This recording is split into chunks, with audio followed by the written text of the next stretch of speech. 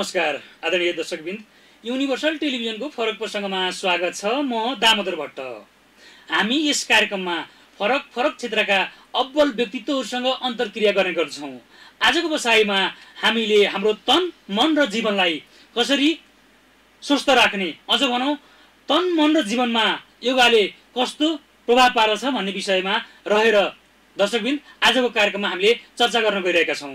आजको बसाइमा हामीसँग हुनुहुन्छ योग गुरु गम्भीर श्रेष्ठजी स्वागत छ यहाँलाई आजको यस कार्यक्रममा। धन्यवाद। आराम हुनुहुन्छ? आराम छु। गम्भीरजी हजुरलाई यो गुरु भनेर चिनिरहँदा यसको साथसाथै आफ्नो परिचयका साथमा अलिकति आजको कार्यक्रम अगाडि बढाउँ।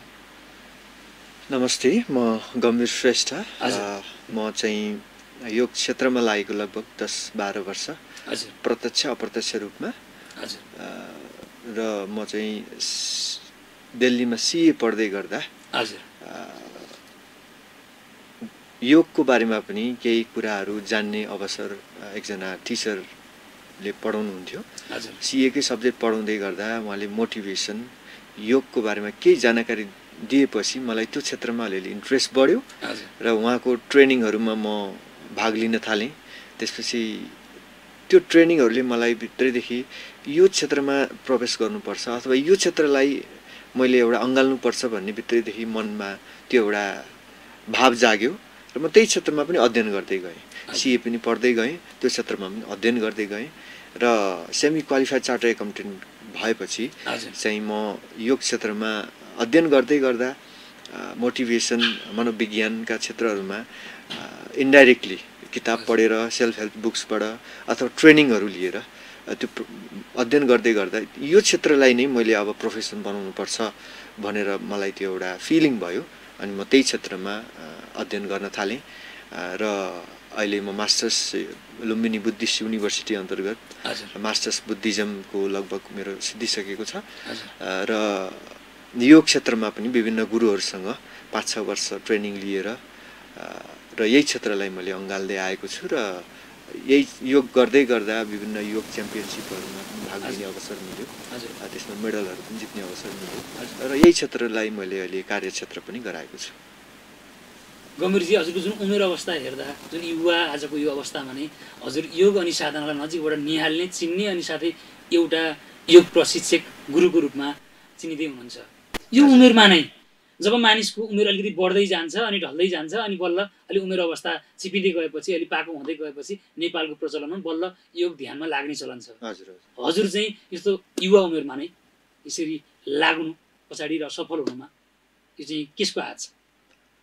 अब यसको यसमा के को हात छ भन्दा चाहिँ एउटा समयको खेल रहेछ भन्नु पर्यो। किनकि म पढ्दै गर्दा सिए पढ्न गएको। त्यो इच्छाले होइन कि त्यति बेला लहर थियो कि सिए पढ्ने कि अस्ट्रेलिया जाने। मलाई विदेश जान मन थिएन किनकि विदेश गएर पढ्ने भन्दा पनि बढी त्यहाँ काम गर्नुपर्छ भन्ने त्यो एउटा सोचाइ थियो बुझाइ थियो। र देशमै केही गर्नुपर्छ भन्ने मेरो त स्वभाव थियो। र त्यति बेला प्लस टूमा राम्रै मार्क्स आयो त्यसपछि के पढ्ने त भन्दा सिएको लहर थियो म म्यानेजमेन्ट विद्यार्थी। अनि सिएको लहरमा हामी दिल्लीतिर पसियो।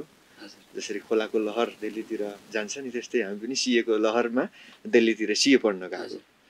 तर त्यो रहर लहर जस्तै थियो त्यो भित्रैदेखिको त्यो एउटा इच्छा हुन्छ नि। आफ्नो प्यासन भन्छ प्रतिभा हुन्छ हरेक मान्छेको प्रतिभा हुन्छ केही न केही खुबी हुन्छ। त्यो खुबी चिनेर गएको चाहिँ होइन। प्रसङ्गवश त्यसरी गइयो। र त्यो सिए पढ्दै गर्दा म चाहिँ योग ध्यानतिर ठोक्किने एउटा वातावरण मिल्यो। एकजना professor professor doctor P S Rathod हुनुहुन्छ। उहाँले हामीहरूलाई स्ट्राटेजिक म्यानेजमेन्ट सब्जेक्ट पढाउनुहुन्थ्यो।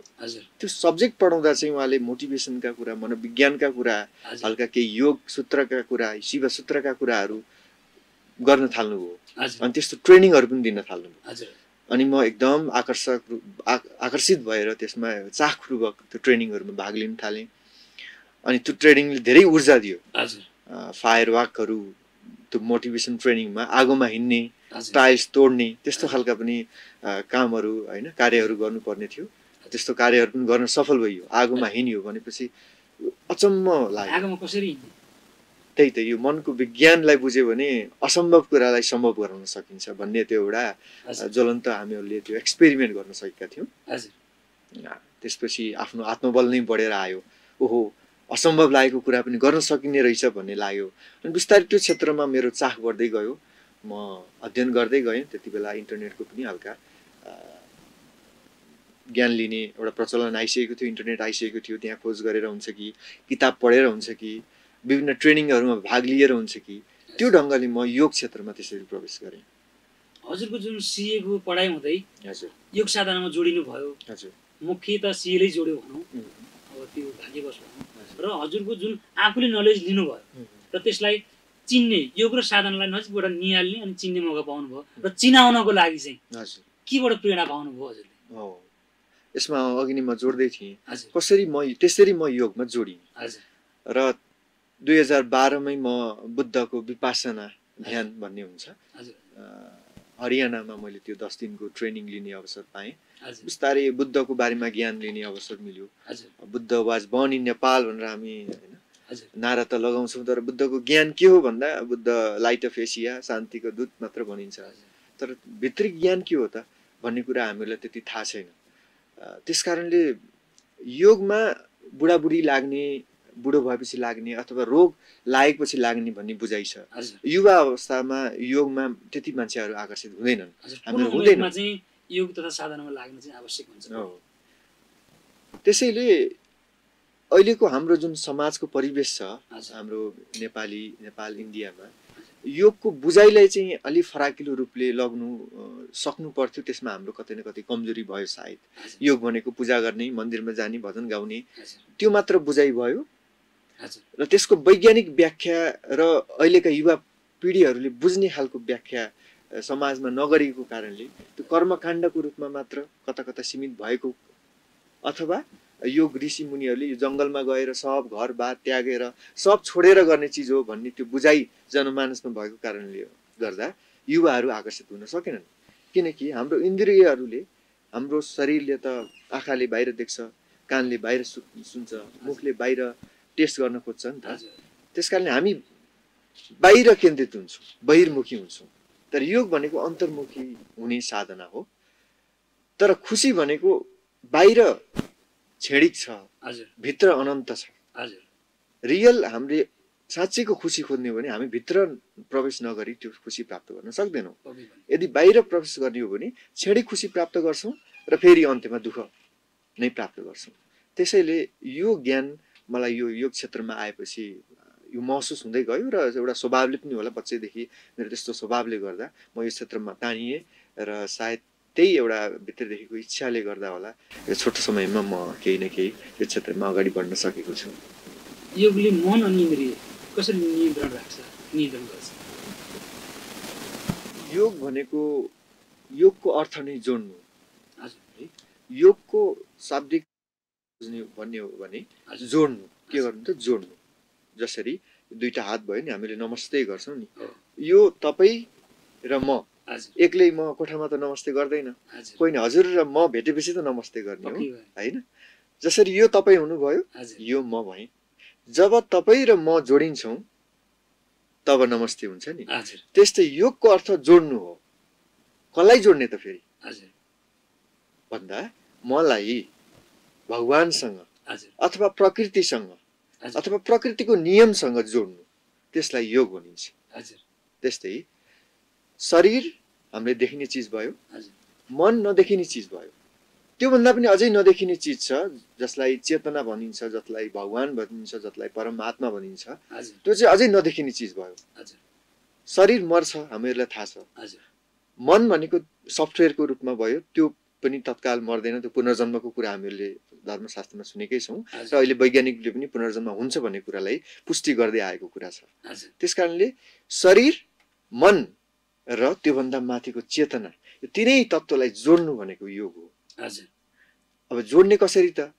भन्दा यही योगका विधिहरू छन्। योगभित्र योग आसन हुन्छ। आसन भनेको शरीरलाई केन्द्र बनाएर गरिने विभिन्न अभ्यास हो।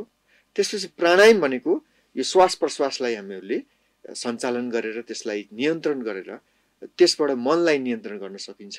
र त्यसपछि ध्यानको कुरा आउँछ। ध्यानले चाहिँ हामीभित्र लुकेको त्यो चेतनालाई जागरण गर्छ अथवा जगाउँछ। जसरी सूर्य कहिले निभेको हुन्छ र? सूर्य त निभेको हुन्न नि त। त हजुर। त्यसलाई चाहिँ ढाक्ने भनेको बादलले कालो बादल आयो भने दिउँसै पनि हाम्रो सूर्य ढाकिन्छ। त्यस्तै हाम्रो चेतना जति बेला पनि बलेको छ हाम्रो ज्ञानभित्र लुकेको छ त्यो ज्ञानलाई कसरी जगाउने भन्ने कुरामा चाहिँ त्यो बादललाई हटाउने काम चाहिँ आसन प्राणायाम ध्यानको माध्यमबाट गर्न सकिन्छ। त्यसरी हामी परम चेतनामा गएर आनन्दित हुन सक्छौँ जीवनको अर्थलाई बुझ्न सक्छौँ। निकै चित्तबुद्ध हजुरको उत्तर? हजुर। यसको लागि धन्यवाद। अर्को हाम्रो जुन ध्यान गर्ने व्यक्ति र ध्यान नगर्ने व्यक्तिमा हजुर। के हुन्छ भिन्नता? कस्तो खाले फरक पाइन्छ? ध्यान गर्ने व्यक्ति र ध्यान नगर्ने व्यक्तिमा केही भिन्नता हुन्छ।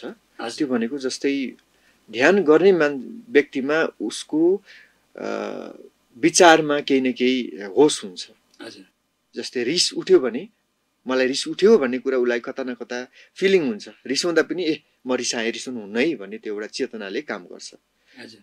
ध्यान योग नगर्ने मान्छेलाई त्यो रिसाइराख्ने त्यो रिसाएर एक दुई दिनसम्म रिसलाई कन्टिन्यू गर्ने जस्तो स्वभाव हुनसक्छ। अर्को खानपिनमा हामीहरूले सजगता अप्नाउन सक्छौँ। यो खाँदा मलाई शरीरमा असर गरेको छ। पेट दुख्यो अथवा गाह्रो भयो भने यो गर्ने मान्छेलाई अथवा मैले यो खाएर गा मलाई गाह्रो भएको यसलाई कम गर्नुपर्ने हो है भनेर त्यो चेतनाले हामीलाई जगाइराख्छ। होसमा आउन मद्दत गर्छ।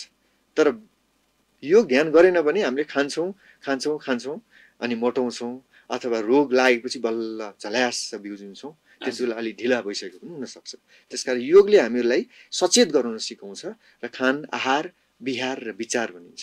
खानपान बसाइ समाजमा होइन एउटा सङ्गतलाई राम्रो गराउने र विचारलाई सकारात्मक ढङ्गले लग्दै निर्विचारमा पुर्याउने त्यो एउटा यात्रामा अगाडि बढ्न हामीहरूलाई सघाउँछ। हजुर त्यसैले योग आवश्यक छ। एकदम आवश्यक छ। र हाम्रो जुन योग साधनमा लागेका मान्छेहरू। अलिकति साधु सन्त टाइपको हुन्छन्। देखि पनि राखेका हुन्छ एकाध दुकाध कता मान्छेहरू अहङ्कारी पनि भेटिन्छ।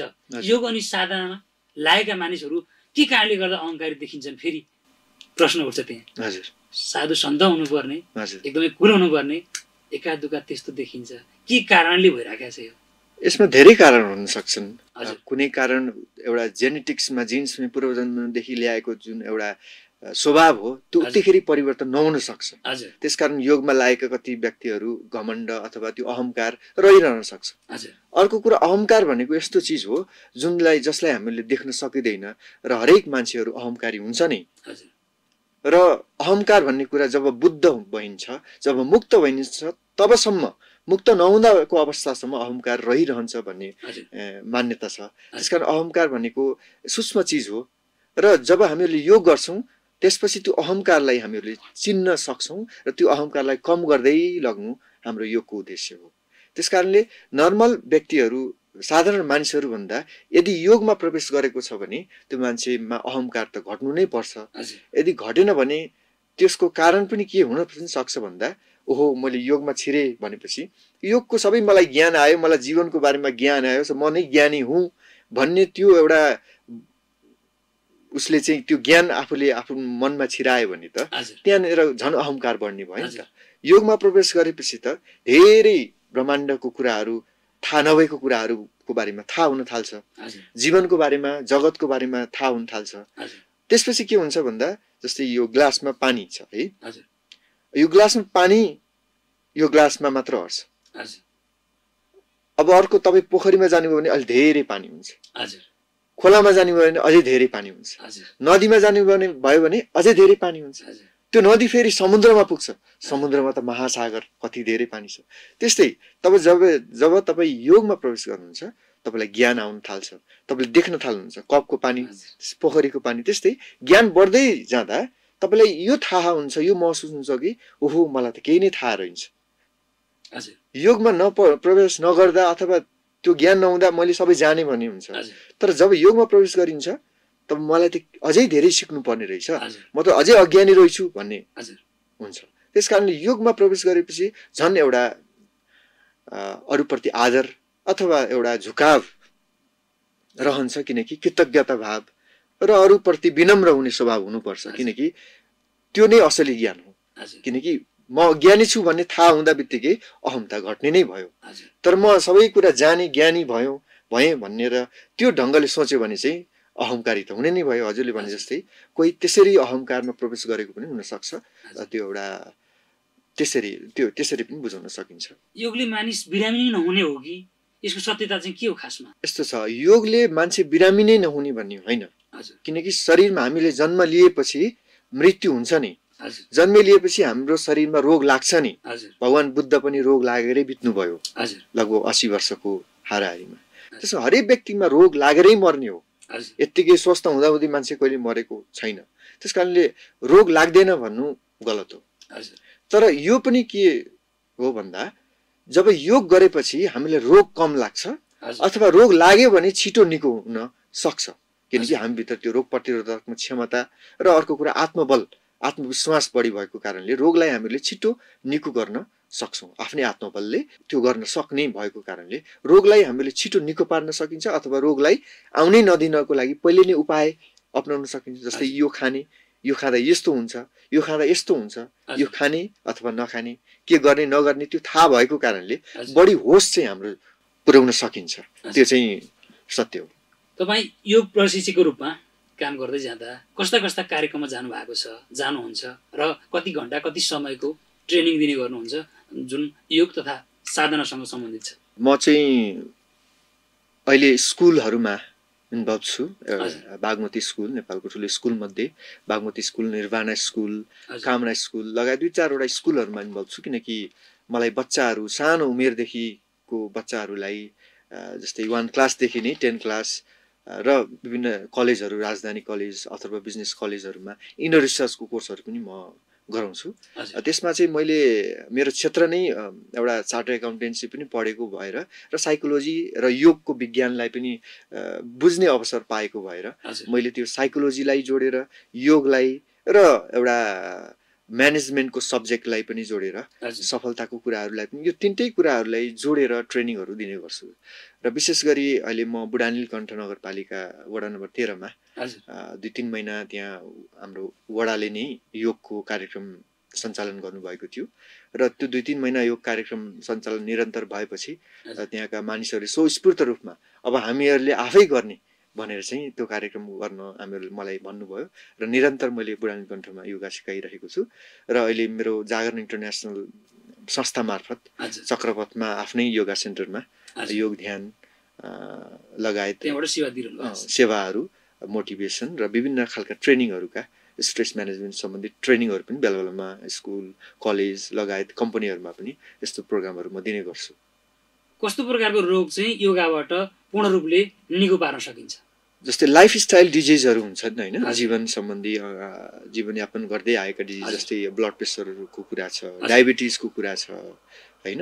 थाइरोइडको कुरा छ पूर्ण रूपले निको पार्न यो सबैलाई निको पार्न सकिन्छ पूर्ण रूपले निको पार्न सकिन्छ। तर त्यो निरन्तरता आफूले कायम गर्नु पर्यो। त्यसलाई सही ढङ्गले प्रयोग गर्नु पर्यो।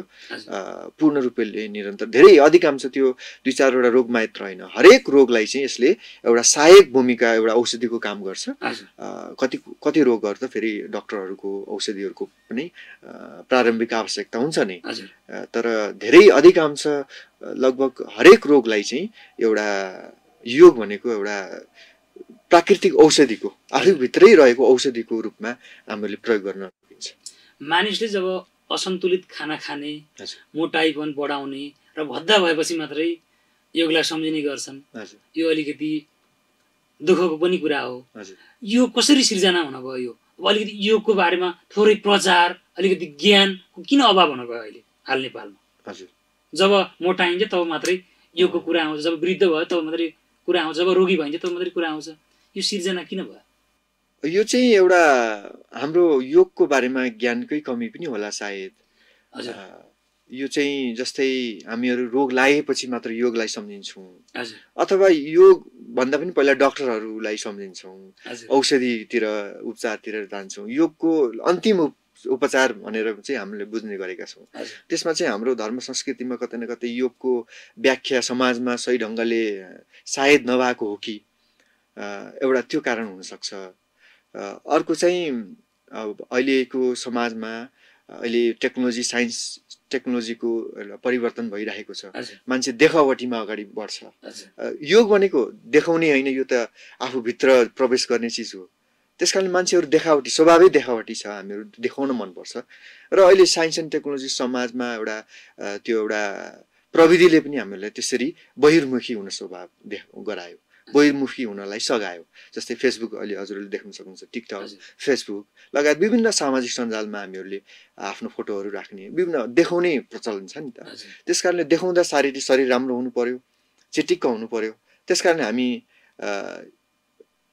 मोटाए कि मोटाएपछि अलि फेरि हामी मोटाइयो भनेर नराम्रो देखिएर त्यस त्यसपछि योगमा अथवा अरू जुम्बा भनौँ अथवा जिममा जाने। गर्छन्। तर त्यो हुनुभन्दा अगाडि नै जीवनको एउटा पद्धति बनायो भने धेरै हाम्रो शारीरिक रूपमा हाम्रो शरीरलाई पनि एउटा सुगठित बनाउन सकिन्छ। किनकि अ, खान पान आहार विहार विचार यो तिनटै कुराले हाम्रो शरीरलाई बनाउने भएको कारणले खानपानमा सुधार गर्दा बित्तिकै हाम्रो शरीरको वेटलाई मेन्टेन गर्न सकिन्छ र विभिन्न हाम्रो रोगहरूलाई पनि निको पार्न सकिन्छ। योगसँग ध्यान पनि जोडिन्छ। यो बिजी लाइफमा हजुर। ध्यान चाहिँ ध्यान पनि आवश्यक छ। हजुर। योगभित्र ध्यान पनि पर्छ। योगमा आसन प्राणायाम ध्यानको कुराहरू जोडिन्छ। त्यस कारणले ध्यान अत्यन्त जरुरी नै छ। र योगभित्रै ध्यान भएको कारणले त्यसैभित्र आउने प्रक्रिया हो ध्यान। ध्यान भनेको चाहिँ अहिले प्रारम्भिक न साधारण बुझाइमा। एकाग्रता भनेर बुझ्न सकिन्छ। र योग ध्यान प्राणायाम गर्दै गर्दा एक खालको हाम्रो मनमा विचारहरू कम आउँदै जान्छ। जब विचार कम आयो तब हाम्रो शरीरमा ऊर्जा फेरि बढ्दै जान्छ। है? ऊर्जा बढेपछि स्वत हाम्रो ध्यान कुनै पनि चिजमा केन्द्रित हुन थाल्छ। र त्यसपछि बिस्तारै योग ध्यान गर्दै गएपछि बिस्तारै निर्विचारको अवस्थामा पुग्नुलाई ध्यान भनियो फेरि अर्को भाषामा त्यस कारणले त्यो ध्यान योग गर्दै गएपछि साधना गर्दै गरेपछि लाग्ने कुरा भयो। र अहिले ध्यान भनेको चाहिँ कुनै पनि काममा एकाग्रतापूर्वक लाग्नुलाई ध्यान भनिन्छ। त्यस कारण योग प्राणायाम आसन प्राणायाम ध्यान भनेको यो योगभित्रकै विषय भएको कारणले यो हामीले त्यो योगभित्रै हामीले सिक्न सकिन्छ र हामीहरूले ध्यान त्यसरी गर्न सकिन्छ। योग साथै ध्यानको अति आवश्यक पाटो के अलिकति बताइदिनुहुन्छ कि गर्ने तरिकाहरू केही? हजुर। आजको स्टेजबाट। अब योग आसनहरू भनेको उठेर त्यस्तै खालको ड्रेस लाएर गराउँदा अलिक सहज हुन्छ। अहिले हामीले त्यो एउटा इन्टरभ्यूको कार्यक्रममा त्यो त्यति सम्भव त नहोला। र अहिले चाहिँ हामी प्राणायामहरू केही सिकाउन सकिन्छ। जस्तै अनुलोम विलोम भन्ने प्राणायाम छ। किनकि प्राण नै हाम्रो जिन्दगी हो। र प्राण हाम्रो केले बचाइरहेको छ भन्दा त हाम्रो श्वासले बचाइरहेको छ। श्वास बिना हामी धेरै समय बाँच्नै सक्दैनौँ। त्यस कारणले श्वास नै जिन्दगीको आश हो। त्यसैले एउटा अनुलोम विलोम प्रा भन्ने प्राणायाम छ। त्यो हामीहरूले म भर्खरै हजुरलाई देखाउन सक्छु। त्यो भनेको चाहिँ यो बुढी औँलालाई माथि उठाउने र चौथो र पाँचौँ औँलालाई उठाउने दुईवटा औँलालाई भित्र राख्ने है। यसरी दायाँ नाकको पाललाई पहिला बन्द गर्ने है। बायाँ हातलाई ज्ञान मुद्रा लगाउन सकिन्छ है। बायाँ नाकबाट लामो गहिरो श्वास तान्ने। अब बायाँलाई बन्द गरेपछि दायाँबाट फाल्ने। फेरि दायाँबाट तान्ने। बायाँबाट फाल्ने हजुर फेरि बायाँबाट तान्ने। दायाँबाट फाल्ने। यो प्रक्रिया। श्वास लिने प्रक्रिया चार सेकेन्ड र फाल्ने प्रक्रिया लगभग पाँचदेखि छ सेकेन्ड हामीले गर्न सकिन्छ। यसलाई निरन्तर हरेक दिन दुई चार मिनट गर्दै गर्दै पाँच मिनट दस मिनटसम्म हामीले पुर्याउन सकिन्छ। यसले हाम्रो दायाँ र बायाँ मस्तिष्कलाई जोड्दै जोड्छ र हाम्रो शरीरलाई भित्रदेखि आनन्दित बनाउँछ। अक्सिजनको लेभल बढाइदिन्छ। मनमा शान्ति ल्याउन मद्दत गर्छ र हाम्रो टाउको दुखाउने दुख्ने समस्या हाम्रो चिन्ता डर एन्जाइटी स्ट्रेसहरू अहिले बढ्दैछ नि त। त्यो सबै मानसिक जुन एउटा तनावको अवस्था छ त्यसलाई कुल डाउन गर्न एकदम मद्दत गर्छ यो प्राणायामले। जुन अहिले जुम्बा जिमको एकदमै प्रचलन बढिरहेको छ सिभेन साइज निकाल्ने हजुर। बडी फिगरहरू बनाउने एकदमै आकर्षण छ। जुन योगामा कमै देखिन्छ यसलाई अलिकति योगालाई अगाडि बढाउन के गर्नु पर्ला? राज्य स्तरबाट या त सञ्चारको माध्यमबाट या त हामीले कसरी अगाडि बढाउन सकिन्छ यसको जनचेतना कसरी फैलाउन सकिन्छ? विभिन्न विधाको विभिन्न आफ्नो फाइदा हुन्छ आफ्नो खुबी हुन्छ होइन? त्यसकारण अब जिम जुम्बाको आफ्नै त्यसको पद्धति हुन्छ आफ्नै सिस्टम हुन्छ र आफ्नै फाइदा पनि हुन्छन्। तर विशेष गरी जिम जुम्बाहरू फिटनेसको लागि भन्दा पनि मान्छेहरू अलि राम्रो देखिन अलि शारीरिक सुगठनमा मात्र ध्यान केन्द्रित गर्छन् भनेपछि योगले चाहिँ हाम्रो शरीरलाई मात्र होइन हाम्रो मनलाई पनि ध्यान दिन्छ। हाम्रो मनलाई पनि होइन हामी भित्र लुकेको त्यो परम चेतनालाई पनि ध्यान दिने भएको कारणले तिनैवटा क्षेत्रलाई योगले काम गर्छ। शरीरलाई त गर्ने नै भयो शरीरभित्रको मनलाई पनि गर्ने भयो र चेतनलाई पनि गर्ने भयो। त्यस कारण यो तिनैवटा चिजलाई तत्त्वलाई चाहिँ एकैसाथ काम गर्ने भएको कारणले यसको धेरै फाइदा हुने भयो। शारीरिक रूपमा मानसिक रूपमा र आध्यात्मिक रूपमा। त्यसकारण शरीर मोटाउने लगायत विभिन्न खालका शरीरका रोगहरू स्वत निको हुँदै जान्छ। त्यो मात्र होइन मानसिक रोग पनि निको हुँदै जान्छ। अहिले विश्व स्वास्थ्य सङ्गठनले दुई हजार पच्चिससम्ममा संसारको सबैभन्दा ठुलो रोग भनेको मानसिक रोग हुन्छ भनेर घोषणा गरिसकेको अवस्था छ। त्यस कारणले। हामीहरूले मनको रोगलाई पनि एकदम नियन्त्रण गर्न जरुरी छ र हरेक दिन हामी खुसी हुन जरुरी छ र हरेक दिन हाँस्न पनि जरुरी छ। किनकि बच्चाहरू दिनमा चार सय चोटिभन्दा बढी हाँस्छन्। त्यसकारण उनी खुसी हुन्छन् उनीहरू खुसी हुन्छन् सुखी पनि हुन्छन् आनन्दित देखिन्छ नि बच्चाहरू हजुर तर हामी जब उमेर पुग्दै जान्छ जब उमेर चालिस कर्दै जान्छ हामी चालिस कटेसी रमाउला। भनेर त गीतमा मात्र नाच्छौँ। तर चालिस कटे कटेसी पछि त रमाउने होइन कि अया गर्दै हस्पिटलतिर दुखी हुँदै अया गर्दै जानुपर्ने अवस्था छ। त्यस कारणले हामी चालिस कटेपछि रमाउनको लागि यदि रमाउनु छ भने अहिलेदेखि नै सानै उमेरदेखि योग ध्यान गरेर भित्रदेखि खुसी हुनुपर्छ र हरेक दिन हामी हाँस्नुपर्छ। किनकि जब? चालिस कटेपछि मानिसहरू हामीहरू चालिस पटकभन्दा कम हाँस्छौँ दिनमा। त्यस कारण हामी रोगी हुन्छौँ। त्यस कारणले हाँस्नुपर्छ। अब हाँस्नेमा पनि एउटा लाफ्टर योगा भन्ने चिज छ हाँस्य योग भन्ने छ। एउटा हाँस्य योग अब लाफ्टर योगामा एउटा टाइम लाफ्टर योगा भन्ने छ है। हाम्रो समय पनि सिद्धिन सके सिद्धिन सक- सक्यो होला सायद है। ल आउनुहोस् एउटा हाँस्य योग भन्ने छ यसमा टाइम लाफ्टर योगा हातलाई यस्तो गर्ने घडी हेर्ने अथवा घडी नभए घडी भएको कल्पना गर्ने है। अनि घडीमा एउटा कल्पना गर्नुहोस् तपाईँले हाँस्ने तपाईँले देख्दा हाँस्ने व्यक्ति अथवा के कुरा कुरा सोच्दा हाँसो उठ्छ। कोही मान्छे देख्दा अथवा के गर्दा जे पनि। हुनसक्छ है। त्यो देखेर र हातलाई यस्तो गर्नुहोस्। अब घडीमा घन्टी बज्छ। हाँस्ने समय भयो। यसरी हाँस्ने। ल हाँसौँ त।